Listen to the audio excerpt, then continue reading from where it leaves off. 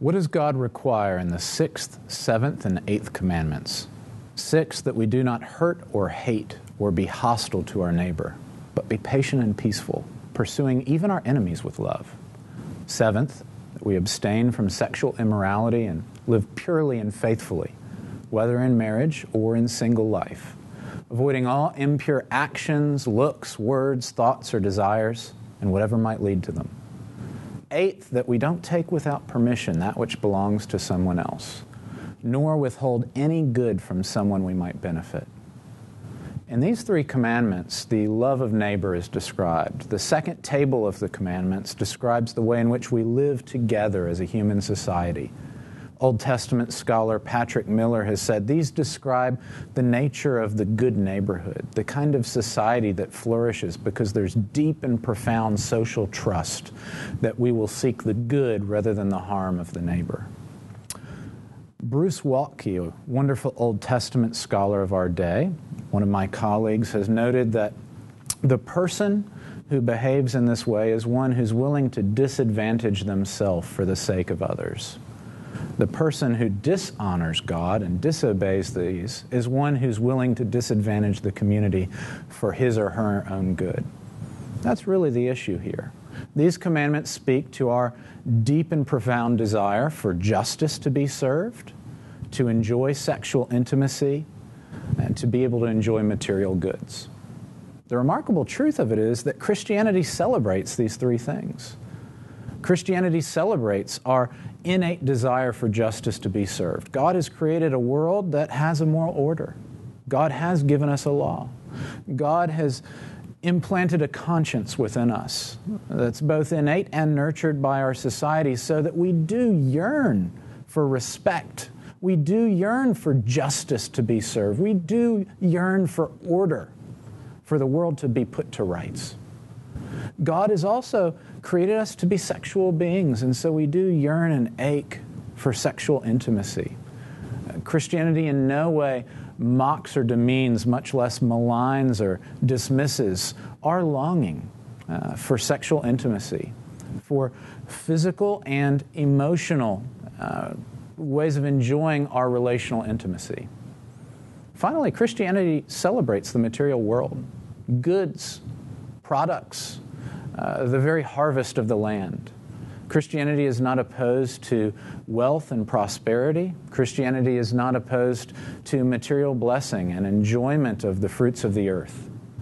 In all these things, Christianity celebrates the goods that these commandments speak to. But in each of these three commands, we are seeing that limits are placed on the way in which we might enjoy them we are not to seek justice being served in any cavalier fashion. We cannot, in desperado ways, go out and serve justice on our own.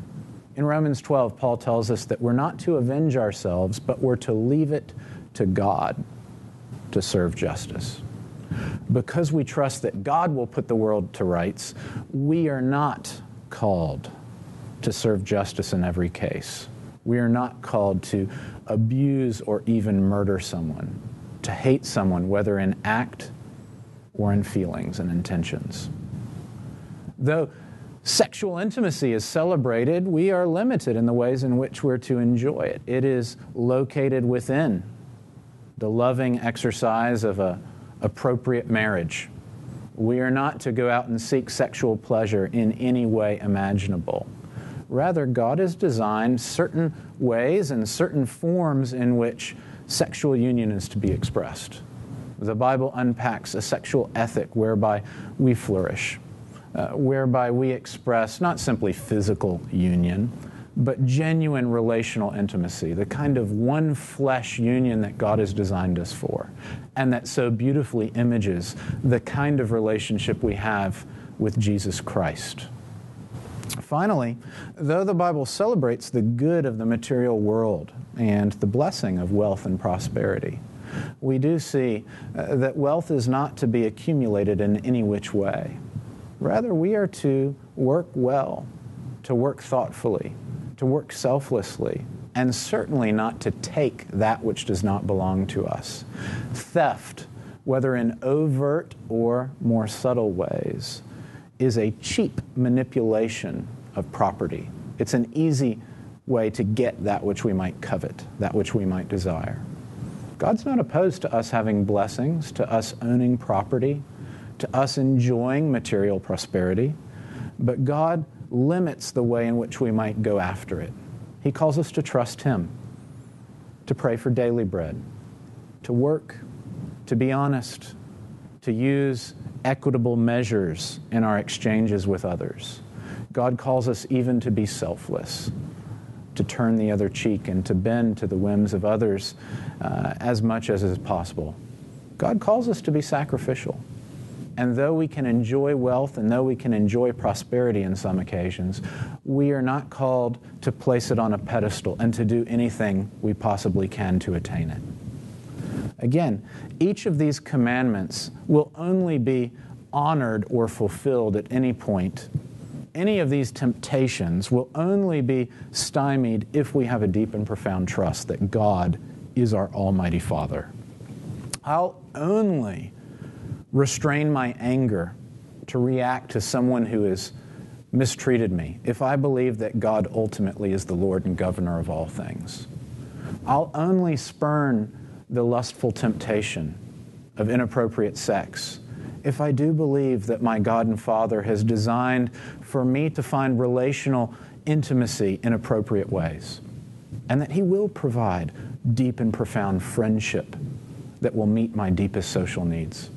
I'll only be able to avoid the temptation to cheat on taxes or to steal in various subtle ways if I do believe God provides manna from heaven that He not only provides the bread of life for my eternal needs, but He really does call me to receive from Him daily bread for my earthly needs, reminding me that just as the lilies of the field and the birds of the air provided for, so my Father will surely provide for His earthly sons, His earthly daughters, His very image. The sixth, the seventh, and the eighth commands are radical. They call us to love they limit the ways in which we seek earthly goods.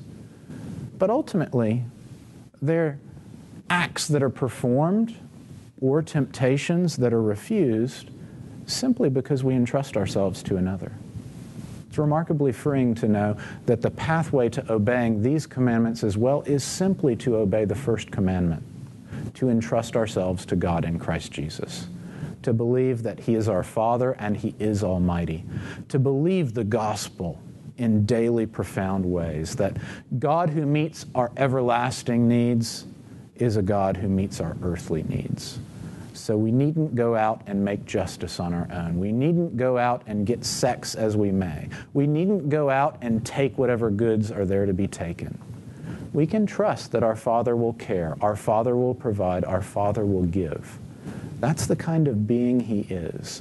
That's the kind of character he's proven himself to have. As Romans 8 tells us, he who did not spare his own son, but delivered him up for us all, how will he not also with him give us all other things? Because he was willing to sacrifice his son, his only son on my behalf, to meet my most profound need, I sure can believe that he'll meet my daily needs for justice for friendship and intimacy, for material blessing and prosperity.